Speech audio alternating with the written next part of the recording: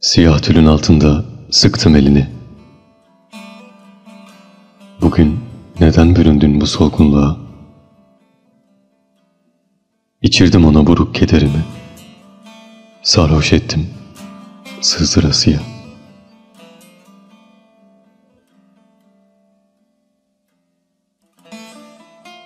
Nasıl unuturum?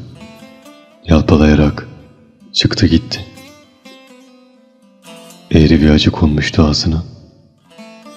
Korkuluklara değmeden merdivene indim. Ardından koştum avlu kapısına.